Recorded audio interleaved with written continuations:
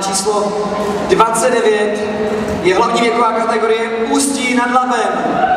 Tato složka listopadu se zúčastnili své první pohárové soutěže, kterou vyhráli. Takže pracují na sobě a pro vás si připravili krásnou show pod vedením Miloše Buchteleho. Tyto tanečníci mají dvakrát týdně.